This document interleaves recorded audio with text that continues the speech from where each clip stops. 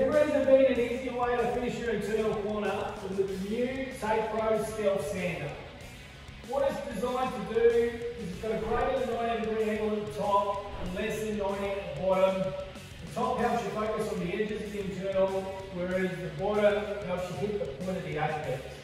In between all that, been designed to create minimal drag and slide up and down the wall on the pole in one motion.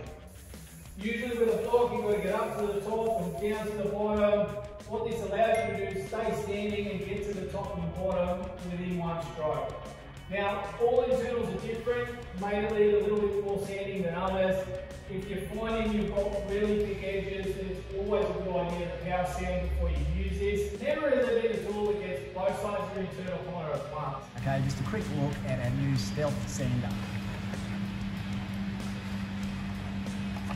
Held in with a staple, so you have to pop that off. So here's our new sander. It's got a bunch of angles. We've got 95 degrees at the top, 85 at the bottom. In between is 90.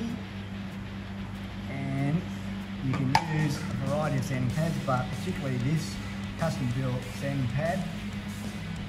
So when you get these, you need to put a crease in it. So fold in half. You can just press it down with your fingers can use a corner roller.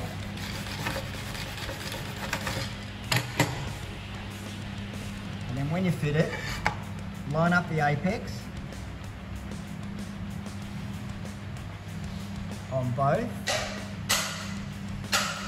and then put it on the Velcro hook. Okay, so on the 85 degree end, when you press that on, that's the part that's going to be sanding the internal. So you need to have a little bit of extra height when you put the sanding pad on that end. So the end, other end doesn't matter that much because it won't be touching here, it's, it's sanding out here, along that face and down to that corner. So if you float that out just a little bit, it'll get right into the apex. The new Stealth Sander.